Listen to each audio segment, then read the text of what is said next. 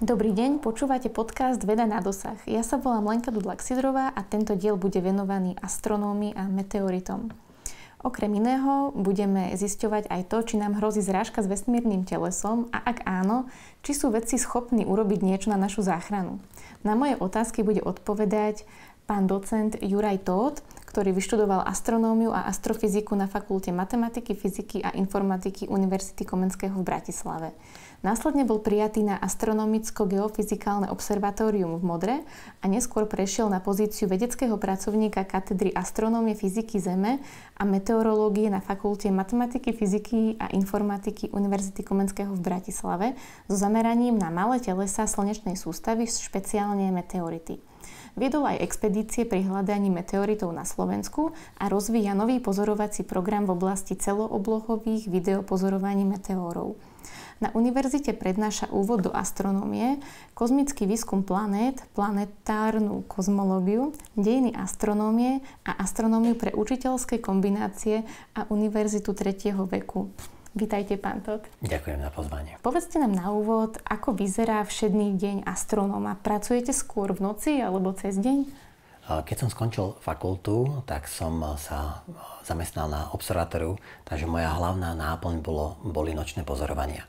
Ale to trvalo zhruba do 2003 roku, takže zhruba 5 rokov som pracoval ako takýto nočný pozorovateľ, astronóm. A teraz e, skôr sa venujem teda študentom a prednáškam počas teda bežného, bežného pracovného dňa a potom teda analýzam e, výsledkov, ktoré máme pri pozorovaní meteorov v nočnej oblohy. Aké rôzne javy pozorujete na oblohe, keď sa venujete zrovna tejto časti práce? Na observatóriu v Modre e, spolu s kolegami, ktorí naďalej pokračujú v tejto činnosti, sme pozorovali asteroidy a kométy pomocou 60 cm ďalekohľadu. A potom popri tejto práci sme zároveň aj pozerali e, nočnú oblohu e, vo forme fotografických prehliadok, kde sme sa snažili zachytiť veľmi jasné meteóry, ktoré niekedy nazývame bolidy, ktorých môžu dopadať meteority. Potom sme vyvinuli si vlastný systém, ktorý teda nazývame AMOS. Je to tak, taká skrátka pre celooblohový systém na získavanie e, meteorických dráh. A týmto spôsobom vlastne sledujeme javy, ktoré v tej atmosfére e, sa dejú. Používame teda nočnú oblohu kvôli tomu, že e, tie prelety tých meteorov sú pomerne málo intenzívne, takže potrebujeme teda tmavú oblohu aj následovanie preletov týchto meteorov a z toho vlastne zase študujeme ich pôvod, či pochádzajú z nejakých konkrétnych asteroidov alebo z konkrétnych komét, či vytvárajú nejaké prúdy, nejaké skupiny v tom medziplanetárnom priestore a prípadne či v tých dráhach neexistuje niečo aj väčšie, ktoré by mohlo spôsobiť nám aj na Zemi problémy.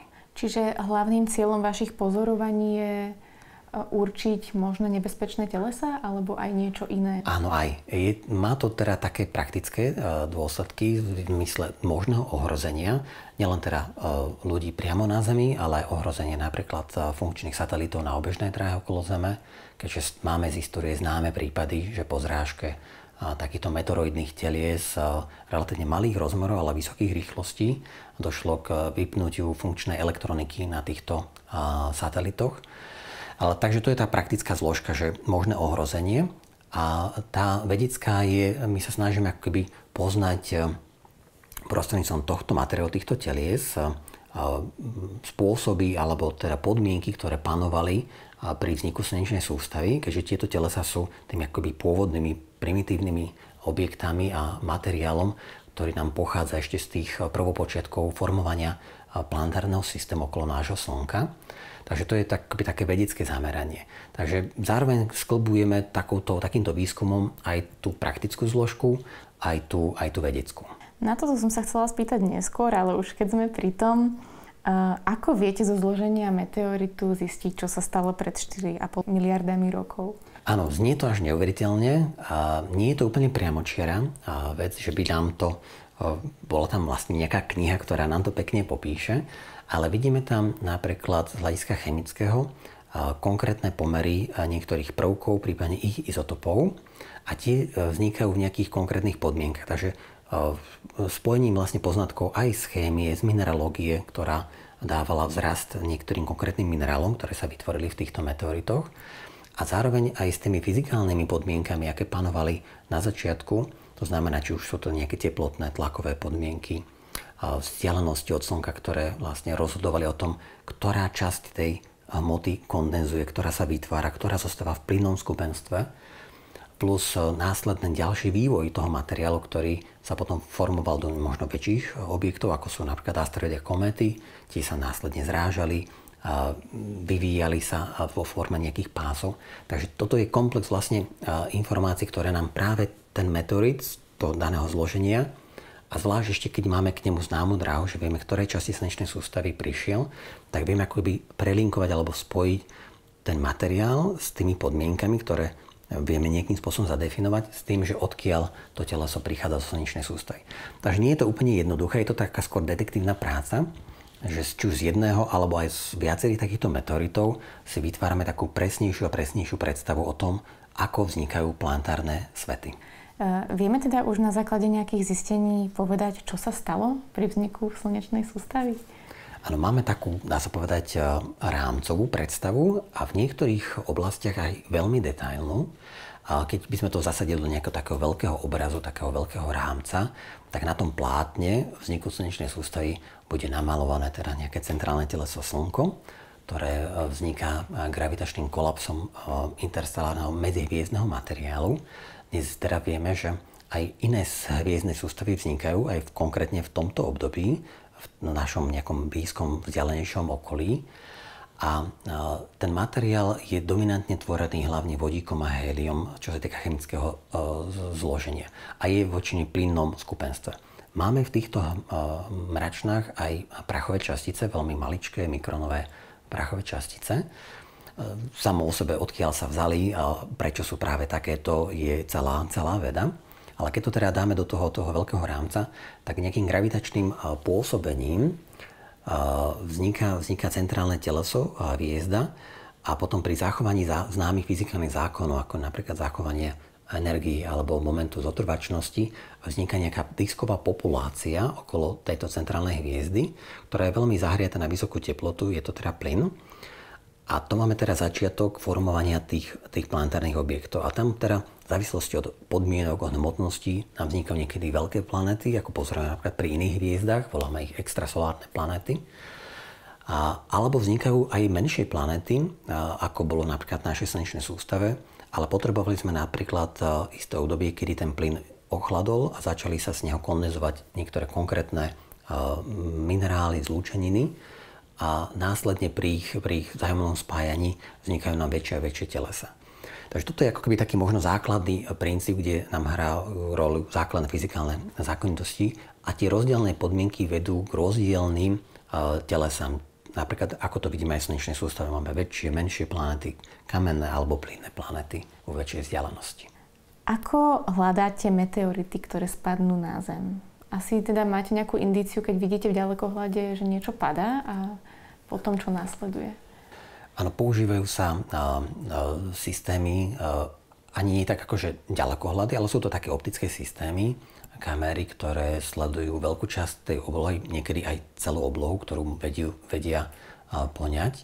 Takzvané objektívy ryby oko sa na to používajú aj komerčného, komerčného výroby. A keď máme aspoň z dvoch miest e, na Zemi e, záznam tej istej e, svetelnej udalosti, napríklad toho preletu meteoru, tak vieme teda určiť v priestore, v atmosfére, kadiaľ to teleso sa pohybovalo a kde prípadne môže byť dopadnutý meteorit, ak náhodou teda celé sa ne, nezaniklo v atmosfére, lebo oni pri tom prelete atmosférou sa távia, rozpadajú a väčšinou teda tieto tela sa zanikajú. Takže pri tých väčších, možno troška súdržnejších, e, to sú väčšinou asteroidálne e, telesa, teda z asteroidálnych e, kúsky teraz asteroidov, tak tie prežívajú ten prelet a potom vypočítaní toho možného miesta dopadu väčšinou sa snažíme čo najskôr ísť na danú lokalitu, aby napríklad tie meteority nám nezarastli v nejakom, nejakej tráve alebo nejakej, nejakom podraste v lese. Takže rozhodujúci aj dosť čas a zároveň aj uh, lokalita, kde, kde, tá, kde ten meteorit mohol dopadnúť. pretože Mali sme na Slovensku za posledné 10 ročie, 20 ročia, toho možno roku 2000, niekoľko desiatok takmer prípadov, ale zatiaľ sme boli teda úspešní len v prípade Košického meteoritu, kde nám podarilo teda aj niečo, niečo nájsť. To je väčšinou teda ten problém, že nájsť možno ten malý meteorit na ploche rádovo kilometrov štvorcových nie je úplne také jednoduché. A ako ho potom rozoznáte od iných kameňov asi? V prípade týchto čerstvých pádov meteoritov je veľká výhoda to, že potom preletia atmosférou, oni sú veľmi typicky teda obhorené, majú také tzv. Távené kôrky, alebo teda potom távení v atmosfére. Ten, ten kamenný materiál má, má tmavý vzhľad a aj ten, ten, ten tvar tých meteoritov býva taký typický oblejší, samozrejme niektoré sú aj po nejakých rozpadoch ostrohranné, ale aspoň nejaká časť je oblejšia. A druhý taký, alebo teda ďalší taký znak je to, že oni sú väčšinou vyššej hustoty ako bežné kamene, pretože obsahujú viac e, ťažších e, prvkov kovov, napríklad e, železov alebo ďalších. A takže pri tom skúsení vlastne pri poťažkaní je, je cítiť, že ten materiál má vyššiu hustotu. Tak toto sú také úplne prvé bežné, častokrát samozrejme aj sú magnetické tieto, tieto meteority, takže vďaka tomu teda, že obsahujú niektoré magnetické minerály. Takže toto sú znaky, ktoré nás vlastne vedú k tomu pomerne jednoznačne. Vieme už priamo v teréne určiť, či to je meteorit, alebo je to, je to len eh, nejaká na meteorit sa ponášajúca domáca pozemská hornina. Keby niekto našiel meteorit a chcel by si nejako polepšiť, akú má hodnotu? Vedeckú má vysokú vždy a takýto, takýto materiál, pretože to je nevšedný. Ale samozrejme e, sú ľudia, ktorí sa aj e, živia, naozaj zvlášť teraz v zahraničí tým, že hľadajú meteority a potom, e, potom ich predávajú. Sú rôzne úrovne toho obchodovania. Niektoré sú burzy, ktoré sú legálne, ktoré teda, kde sa nakupujú a predávajú meteority len pri ktorých nebol porušený žiadny zákon, napríklad danej krajiny, kde ten meteorit sa našiel. Ale sú samozrejme aj, aj čierny trh, kde kde sa niekedy teda aj pri ukradnutí v úvodzovkách alebo porušení legislatívy danej krajiny obchoduje s takýmito meteoritmi. A tie sumy sú samozrejme veľmi rôznorodé od relatívne lacných meteoritov, ktoré si viete ako suvenír kúpiť naozaj za pár eur. Malý kúsoček meteoritu, to sú väčšinou meteority z severozápadnej Afriky, kde sa v týchto púštnych oblastiach nachádzajú aj veľmi staré meteority. Oni nie sú veľmi vzácne z toho hľadiska, že by to boli čerstvé, pády a, a toto, toto je napríklad naozaj v dostupnosti takmer každého človeka mať kúsok z vesmíru u seba doma. Odkiaľ sa vlastne berú tieto meteority? Toto bola otázka aj, aj v minulosti veľmi dôležitá, ktorá sa rozriešila až začiatkom 19. storočia, to znamená zhruba tých 200 rokov dozadu. Vieme, odkiaľ tie meteority pochádzajú, pretože predtým si ľudia nevedeli predstaviť, odkiaľ z toho neba môžu padať tie kamene tie meteoritické kamene. Takže keďže nepoznali o, o, telesa, z ktorých by mohli pochádzať. Až začiatkom 19. storočia sa objavili prvé asteroidy a e, potom neskôr na základe teda aj, aj podobnosti niektorých dráh alebo, alebo aj vyslovene e, podobnosti tej, tej, toho kamenného m, povahy toho materiálu sme zistili teda, že tie meteority budú pochádzať pravdepodobne z tých asteroidov. Samozrejme, teraz si to môžeme definitívne potvrdiť, keďže máme aj konkrétne sondy pri uh, konkrétnych asteroidoch s tým, že niektoré z nich sú aj návratové, že majú návratové uh, púzdra, ktoré nám dokážu časť toho asteroidálneho materiálu, možno vo forme zrníčok, prachu, materiálu doniesť na Zem. Ale máme, máme vlastne to spojenie, že z tých malých asteroidov, čo je, uh, sú telesa možno od nejakých 100 metrových až po až po tisíckilometrové priemery, takže sú menšie ako, ako bežné planéty, dokonca teda väčšinou menšie ako mesiace planét, tak z týchto asteroidov, ktoré sa nachádzajú medzi Marsom a Jupiterom vo veľkej miere, tak pochádzajú meteority. Hm, spomínali ste pred chvíľou, že meteority majú trošku iné zloženie ako naše nejaké kamene, ku ktorým ich väčšinou prirovnávame. Myslíte, že nás vo vesmíre môže prekvapiť nejaký nový chemický prvok? Čo sa týka tej, toho chemického podobnosti, tam je prakticky 100% zhoda. Ale máme v meteoritoch minerály, to znamená teda v podstate zlúčení, ktoré ale vytvárajú nejakú, nejakú štruktúru, ktoré sú unikátne, ktoré sa nevyskytujú napríklad v pozemských horninách. Takže, lebo v tých špecifických podmienkach, ktoré tie minerály rástli, tak, tak také sa nenachádzajú na Zemi, či už teda nízka gravitácia alebo iné tlakové a teplotné pomery. Takže to, toto áno a môže byť, že nevylúčim teda, že sa nám podarí aj niektoré, čo sa týka týchto minerálov špecifických nájsť ešte nových, ale vyzerá to tak, že, že po chemickej stránke, keď si zoberme tú e, známú chemickú tabulku prvkov, e, tak, e, tak tam vlastne máme zhodu to, čo je na Zemi, my sa zhoduje s tým, čo je v tých meteoritoch. A to jej vlastne vysvetľuje, že, že ten pôvod aj tých planét našej Zeme a tých asteroidov, z ktorých máme tie meteority, je vlastne je spoločný.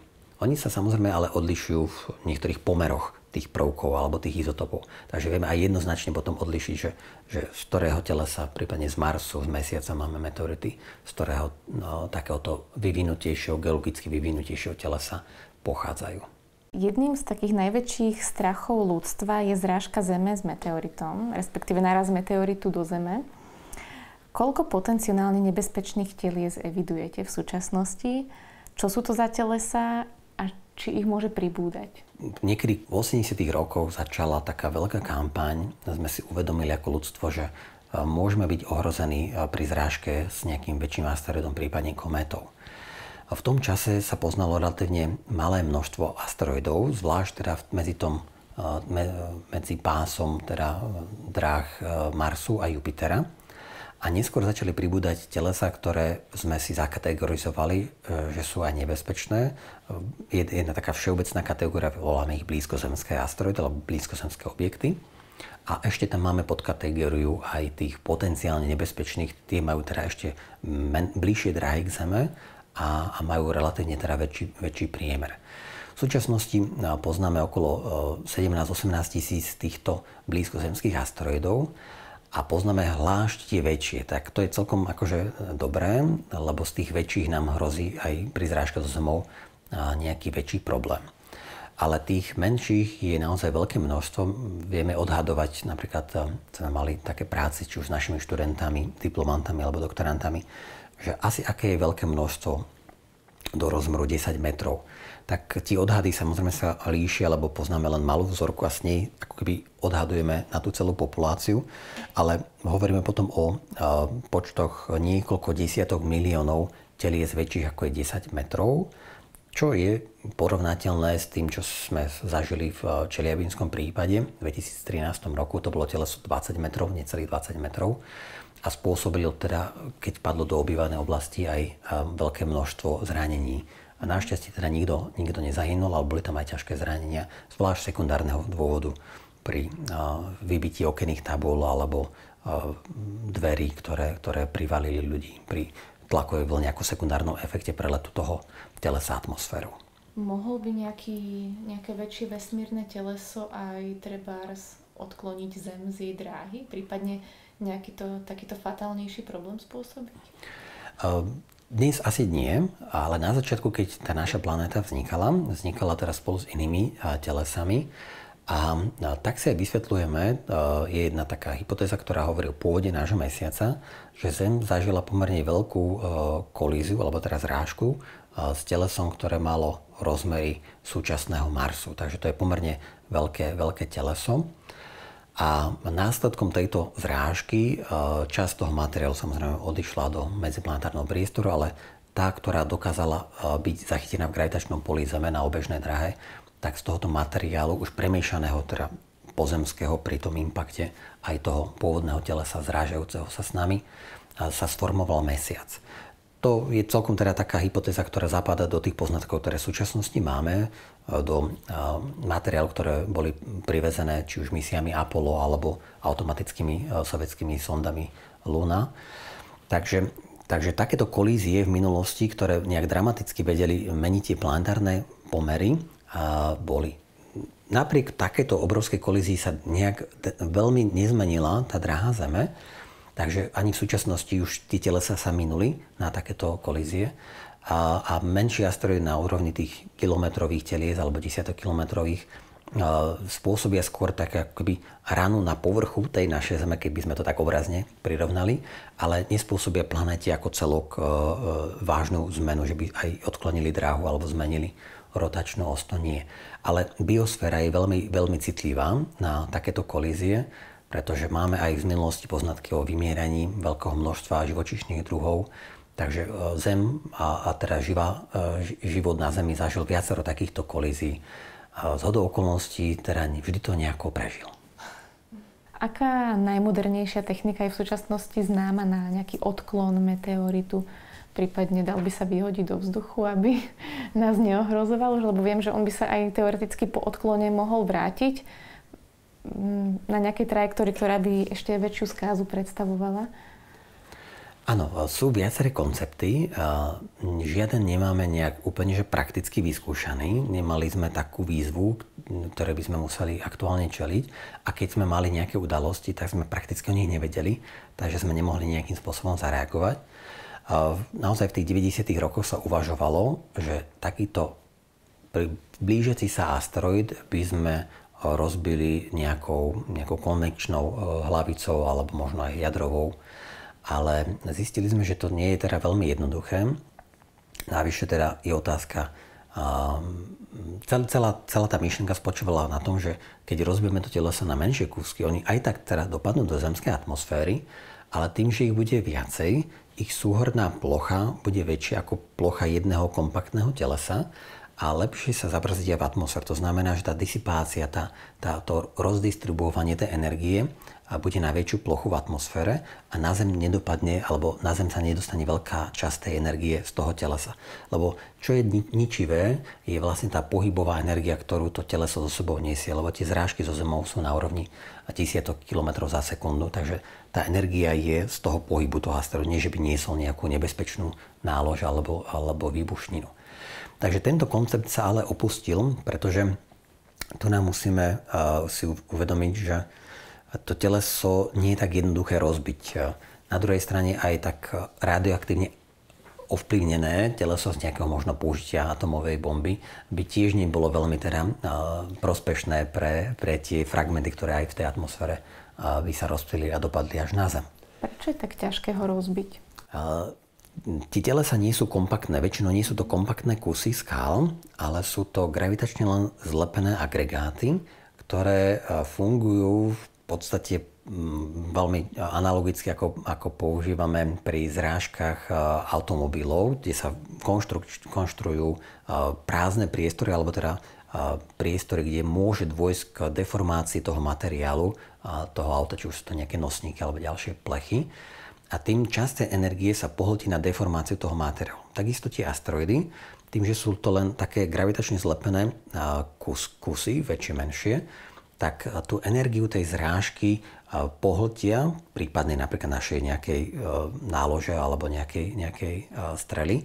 A ten asteroid vlastne sa len preformuje, preusporiada, ale zostane pohromade celý. Takže, takže toto je koncept, ktorý sa viac menej opustil. Možno, že by sa dalo uvažovať, ak by to bol relatívne malý, kompaktný asteroid a mali by sme nejaký teda čas, taký už bezprostredný, že len niekoľko dní, možno týždňov, tak by sa dalo spraviť taký pokus, že by sa vystrelala teda nejaká, nejaká strela. Niečo podobné sa dialo um, pri testoch napríklad uh, Čín, Čínenia teda svoju vlastnú družicu na obežnej dráhe vo výške okolo 700 km nad zemským povrchom teda dokázali uh, tráfiť. A nebolo to veľmi šťastné kvôli tomu, že vzniklo množstvo uh, kozmického odpadu, ktorý samozrejme ohrozuje ďalšie funkčné satelity. Ale toto v princípe sa dá predstaviť ako, ako možná taká posledná možnosť pred nejakým bezprostredne blížiacím sa relatívne malým asteroidom ale skôr tie koncepty idú e, smere e, mať dostatok času e, pre to hroziacou zrážkou, to vieme vypočítať napríklad na niekoľko tisíc ročí, a predtým spraviť relatívne jemný manéver s nejakou sondou, ktorá by obiehala okolo asteroidu. Voláme to teda projekta gravitačného traktora, ktorý by jemne ako keby posunul ťažisko medzi tou sondou a, a tým asteroidom. Samozrejme, muselo by to možno niekoľko mesiacov, rokov tá sonda obiehať okolo toho asteroidu a takto by celý ten asteroid mohol odkloniť úplne od dráhy, dráhy Zeme. Čo znie aj teda e, jemnejšie, aj, aj realizovateľnejšie. Tie výpočty ukazujú, že toto by mohlo naozaj ten, ten, ten asteroid odkloniť od tej finálnej trajektórie, ak by také niečo hrozilo na Zemi. Ale teda dobrá správa je, že teda nemáme známy asteroid, ktorý by takto k nám bol nasmerovaný v najbližších napríklad 100 rokov. Vy v súčasnosti rozvíjate nový pozorovací program v oblasti celooblohových videopozorovaní meteorov. O čo ide v tomto programe? Čo tam má byť tým novým? Ten systém AMOS bol vyvinutý na to, aby sme odhalili prepojenie meteorických prúdov s asteroidmi.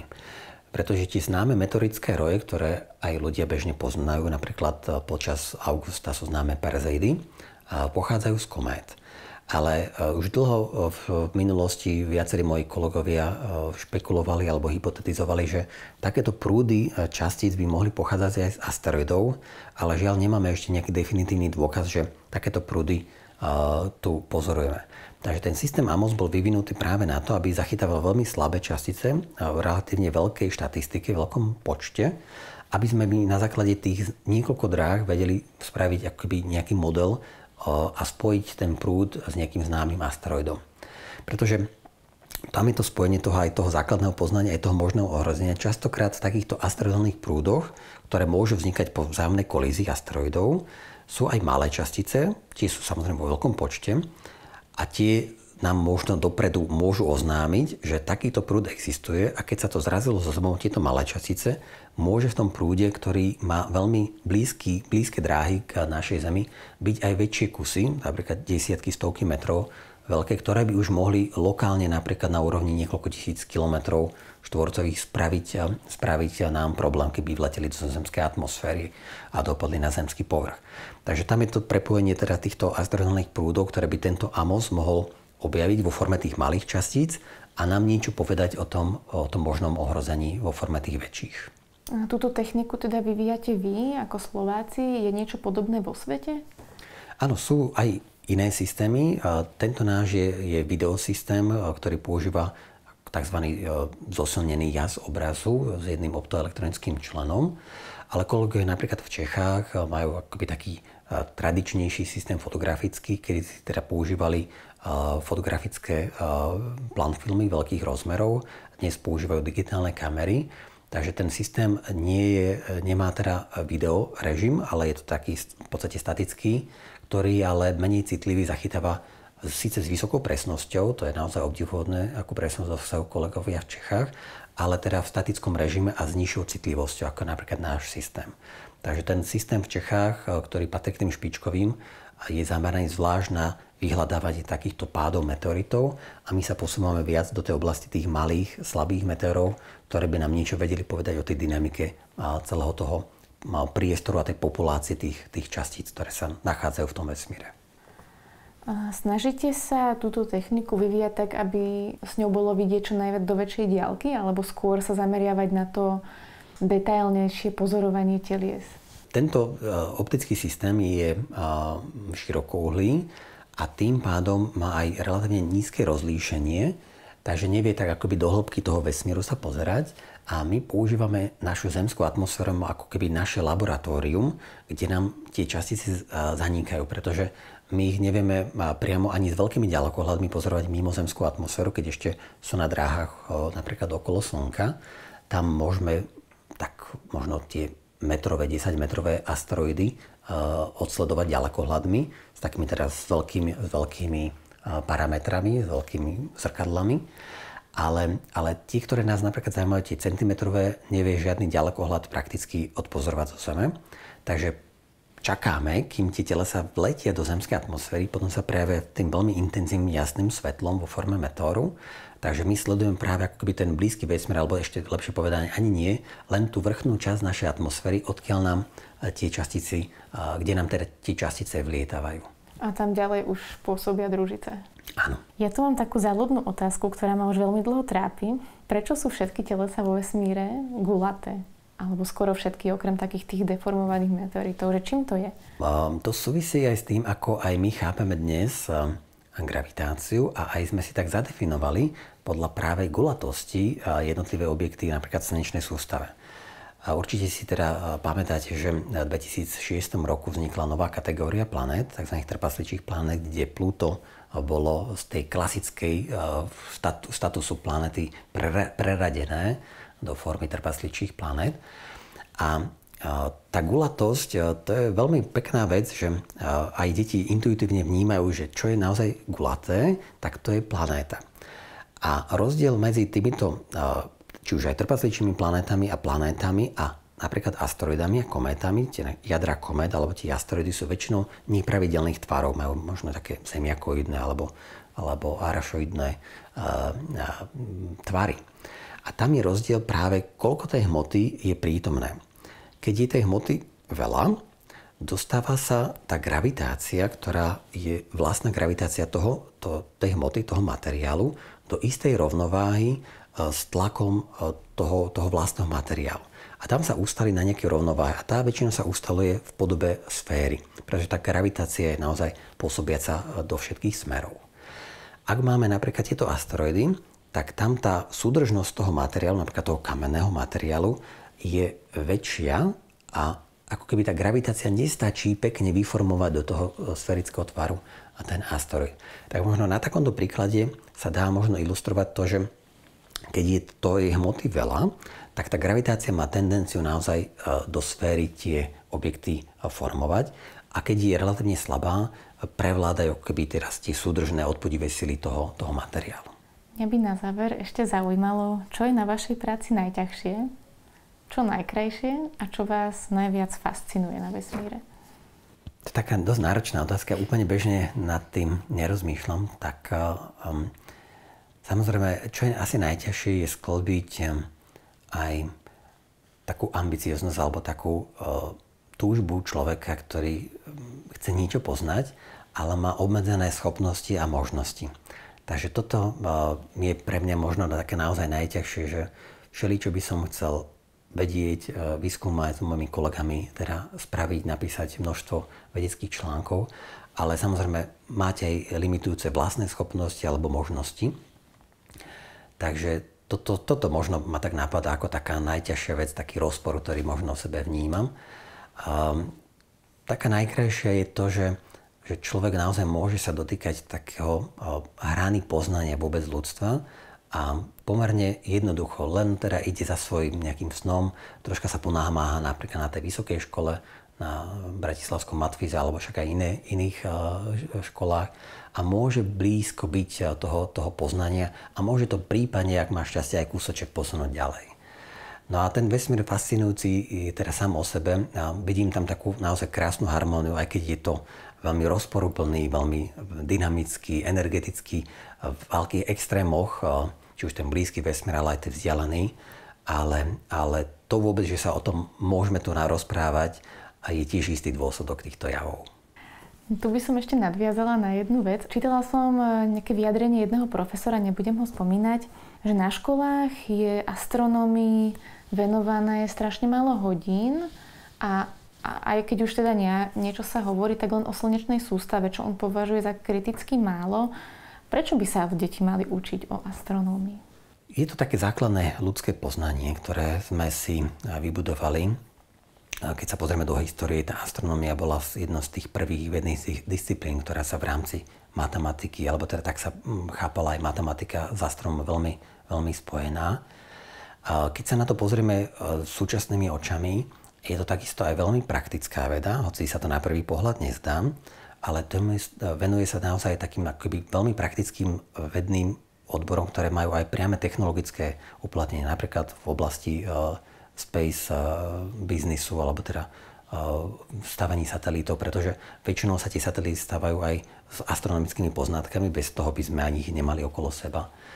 A prípadne nám tú fyziku eh, v tých extrémnych častiach posúvajú ďalej a ďalej dopredu.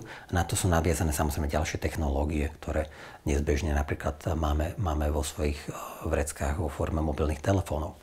Čiže je to také zaujímavé prepojenie, že veľmi ako keby nepraktické na prvý pohľad, že v nejakých vzdialených objektoch a javoch, ktoré boli možno dávno v minulosti alebo v budúcnosti budú, a extrémnych energiách, ale tam vlastne sa vlastne je to naše laboratórium tých našich poznatkov fyzikálnych alebo aj chemických, ktoré nám vlastne dáva aj veľmi praktické využitia v bežnom, bežnom živote.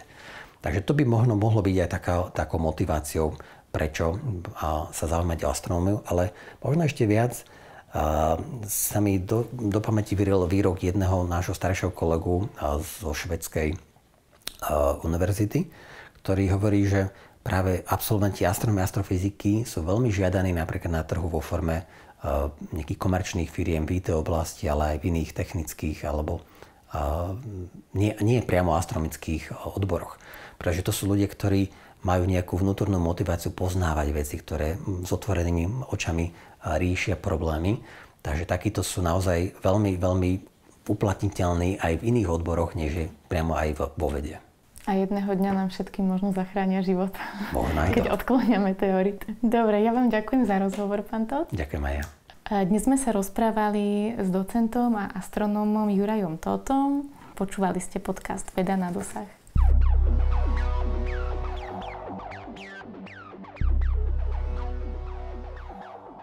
Vyrobilo Centrum vedecko-technických informácií Slovenskej republiky 2020. Tento projekt je spolufinancovaný z prostriedkov Európskeho fondu regionálneho rozvoja v rámci operačného programu Integrovaná infraštruktúra. Európska únia. Investícia do vašej budúcnosti.